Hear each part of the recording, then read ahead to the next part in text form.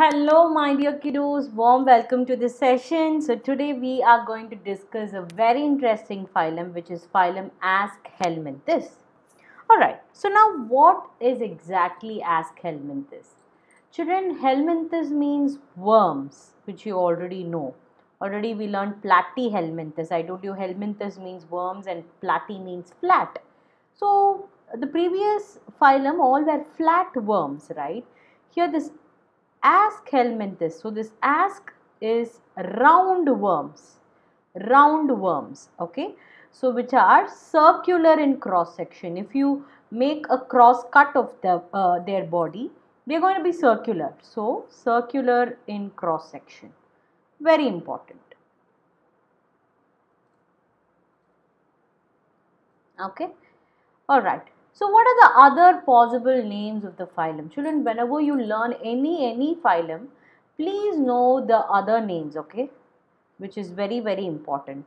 So what are the other ways uh, by which we can call this phylum? One is Aschelminthes as I told you. Uh, it can also be referred as Nemathelminthes. Nemathelminthes and the most important name is it is Nematoda nematoda. Okay? So these are the different names which you can give to Aschelminthes okay? Now we'll go as per our way of studying which is general characteristics first followed by the typical characters. So talking about the general characters what are the things we talk about? First we'll talk about habit and habitat right? So talking about uh, their habit and habitat first of all they are both aquatic and terrestrial okay? And they are free living as well as parasites and parasitic. So you can find them as parasites both in animals and in plants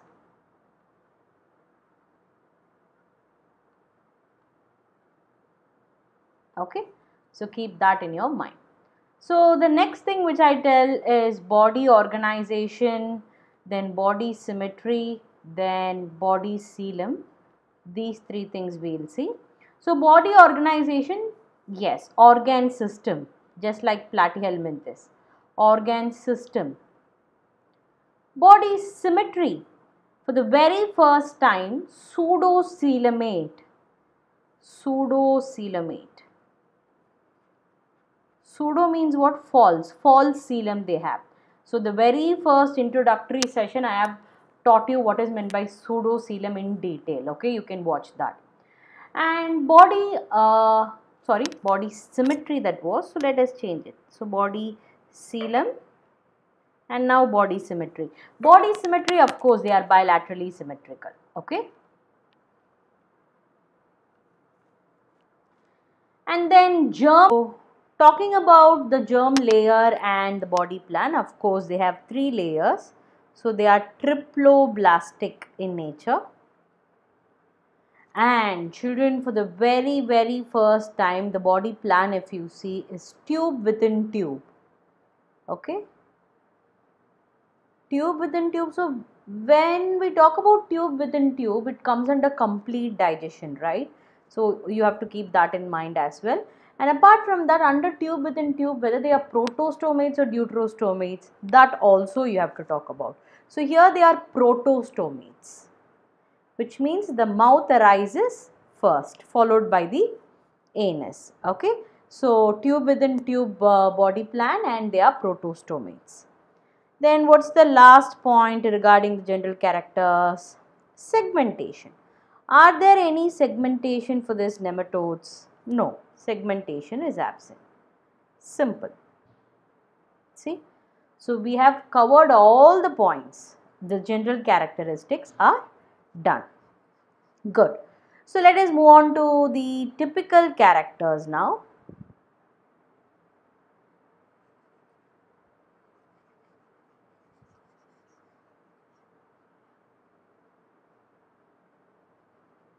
Okay. So talking about the typical characters children, usually the very first point uh, we talk about how do how they appear right? So here the very first point regarding the body will be they are round right? Round worms. Correct? And they have tapering ends. Ends will be tapered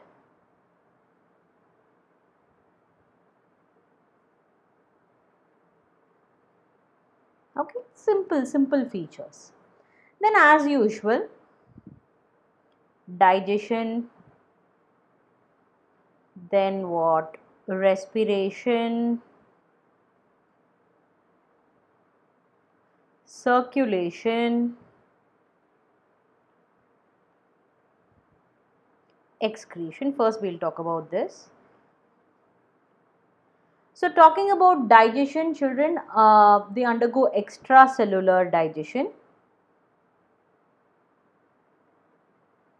and here it is complete digestion.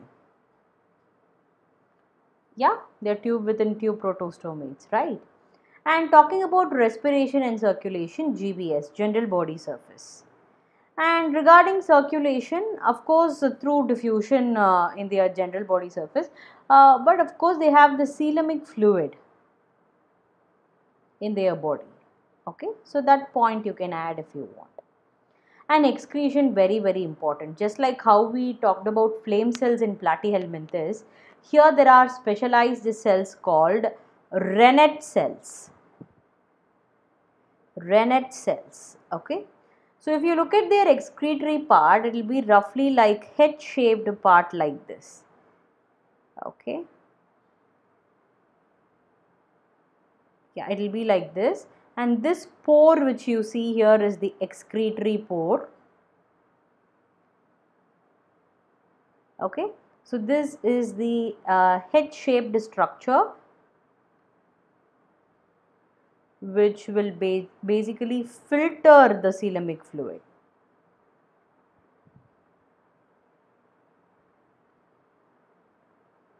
getting it kiddos yeah so this is regarding the first five points. Moving on to the next points.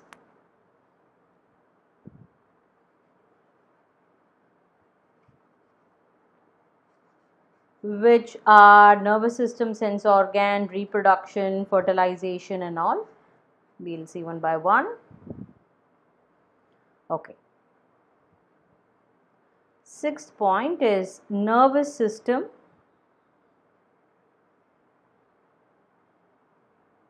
and sense organs. Talking about the nervous system, they have the nerve ring and nerve fibers. Okay, what do they have? Nerve ring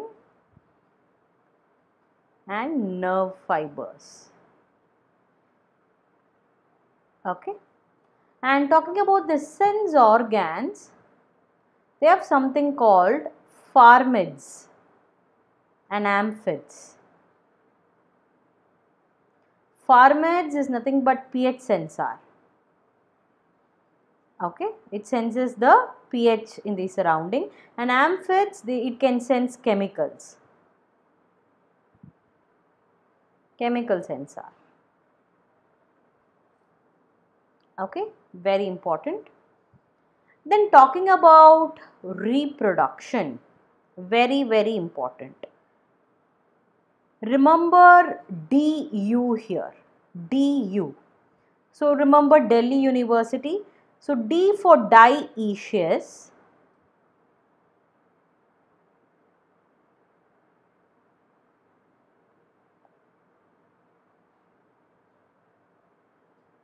and u for unisexual. Which means dioecious means two different uh, genders male and female right? That is what is unisexual right? Separate male separate female right yes so which means they show sexual dimorphism that is the male and the female body will be different they show sexual dimorphism meaning what? Differentiation between male and female can be seen in the body. And what kind of fertilization they undergo? Eighth point, you can put it as fertilization. So they undergo internal fertilization. Internal fertilization. And uh, the next point, let me erase this.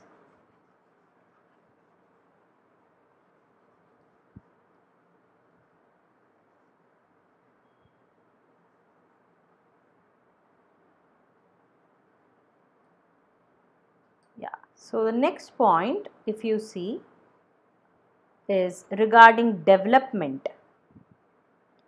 Development if you see children they can undergo both direct and indirect development. What is the meaning? Direct development without the involvement of larva. Indirect means larva will exist, right?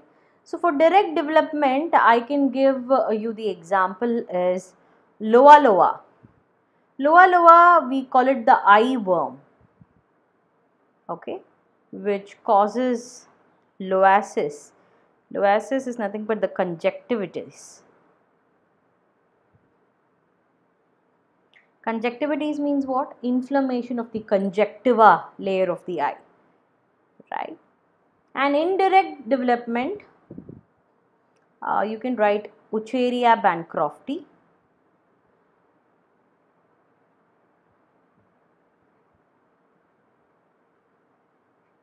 Which we call it filarial worm which causes filariasis elephantiasis we say.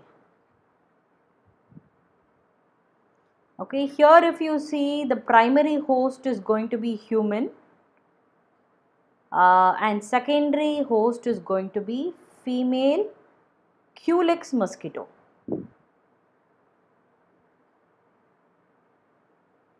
Okay, female Culex mosquito. And children, what they attack where which which part of the body do they attack? So this is going to be an endoparasite and it will attack the lymphatic system. This filarial worm is going to attack the lymphatic system of the human body. All right children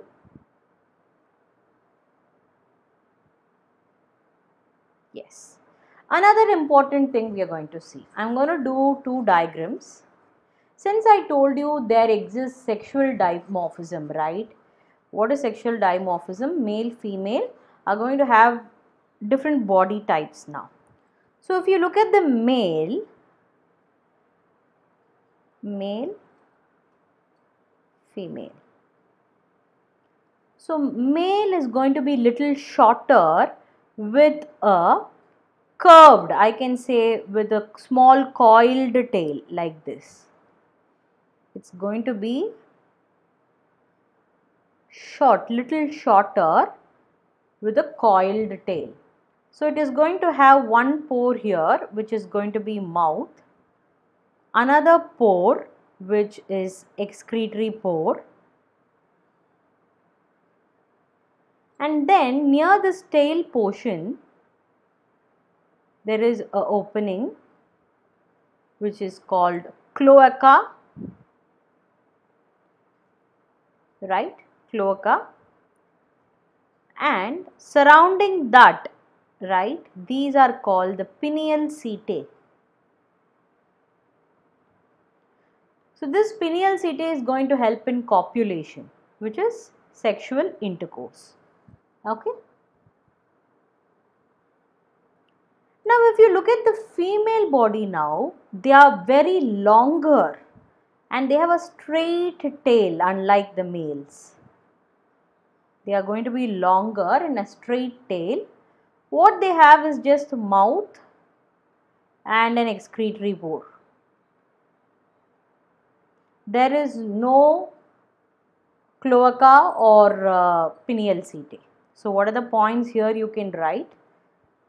cloaca present, here absent, here penial setae present. Here absent in females. Here they have coiled tail. Here straight tail so here they are short in length. Here it is long. Okay so these are the difference between the male and the female body. So here uh, which worm are we talking about? You can consider this to be ascaris. Ascaris is basically we call it the intestinal worm. And one more important thing children i'm going to talk about the life cycle of ascaris that is the intestinal worm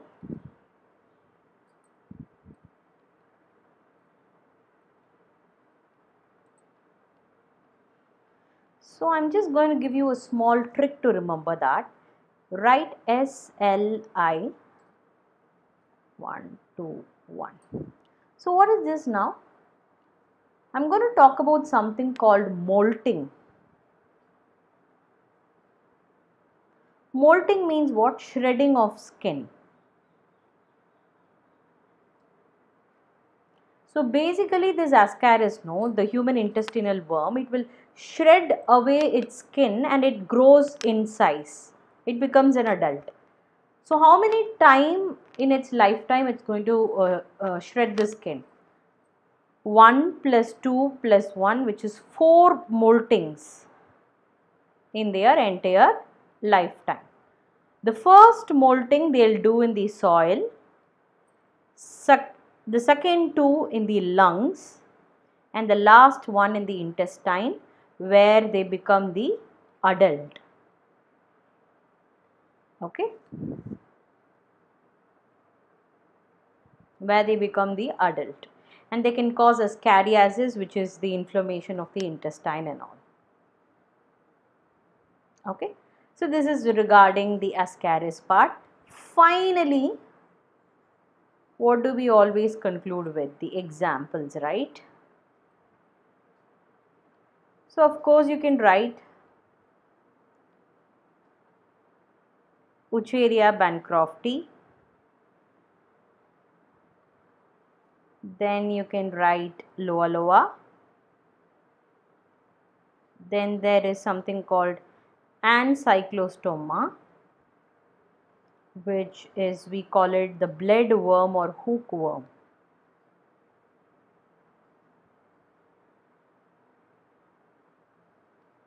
then you can write there is something called dracunculus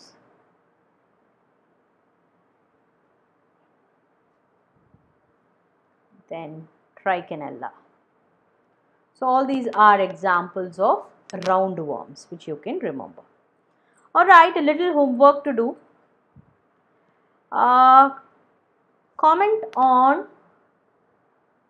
the fertilization aspect and excretion aspect of Aschelminthes in the comment box down below, right? So what kind of fertilization they undergo and what kind of excretion, the special cells involved in excretion. That's your little homework to do. So next uh, session we'll catch up with orthro, uh, no, Annelida we'll complete and then followed by Arthropoda. Okay, hope you all enjoyed the session. Do not forget to uh, subscribe the channel and please keep commenting the answers in the uh, comment box and also your doubts. Alright children, bye bye, tata, take care.